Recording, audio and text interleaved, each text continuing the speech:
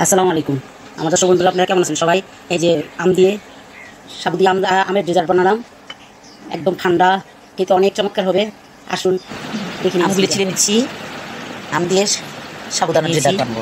Bread করে ব্রেড করে সাবু ডেজার্ট করে নিচ্ছি। আম দিয়ে সাবু দিয়ে আমের ডেজার্ট বানাবো। সাবধান করে নিচ্ছি। ফুটিয়ে নিচ্ছি। সবটা ফুটে উঠলে তারপর আমের সাথে মিলিয়ে ঠান্ডা করে নেব। সবটা ঠান্ডা করে তারপরে আম ঠান্ডা করে আম দুধ ঠান্ডা হতে দিচ্ছি দুধ আমি আগে জাল করে নিয়েছি। তারপরে হচ্ছে আম আর দুধ সব একসাথে মিলিয়ে নিবো। তারপর ঠান্ডা আবার ঠান্ডা হতে দিব। ঠান্ডা হলে তারপর পরিবেশন করব। ফুটে গেছে সাবুদানা তখন একদম সাদা মাছটা ভিতরে সাদা সাদা তখন বুঝবেন যে এটা ফুটে গেছে এই যে দেখুন ফুটে গেছে দেখছেন? সুন্দর ফুটে গেছে। ঢেলে নিচ্ছি। পাত্র ঢেলে নিয়ে ঠান্ডা করে ফ্রিজে রেখে দেবো। ঠান্ডা হলে। আম দুধের সাথে মিলিয়ে নেব। এখন এটা আম দিয়ে সাবুদানার ঠান্ডা করে বানাচ্ছি।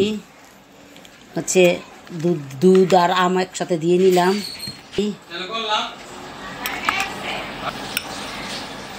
সাবুদানা দিচ্ছি।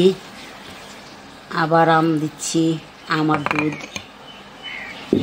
তারপরে হচ্ছে আম। সাবু দিয়ে আমরা আমের ডেজার্ট বানালাম। একদম ঠান্ডা খেতে অনেক চমৎকার হবে।